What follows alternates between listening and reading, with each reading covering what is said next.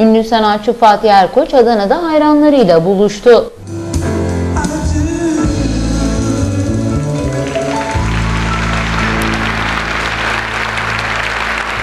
Adana Büyükşehir Belediyesi tiyatro salonunda düzenlenen konsere Adana Büyükşehir Belediyesi Başkan Vekili Zihni Aldırmaz ve eşi Serpil Aldırmaz, 6. Mekanize Piyade Tümen ve Garnizon Komutanı Tüm General Satı Bahadır Köse ve eşi yanı sıra çok sayıdaki kent halkı katılım gösterdi.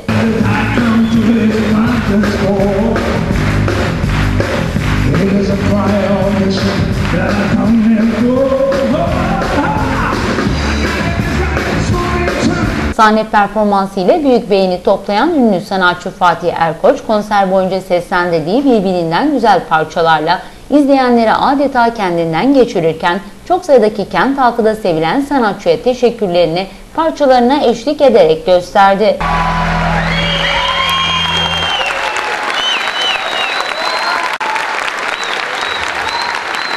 Adana Büyükşehir Belediyesi Başkan Vekili Zihni Aldırmaz, izleyiciler tarafından ayakta alkışlanan sevilen sanatçı Fatih Erkoç'a konser sonrasında çiçek vererek teşekkür etti.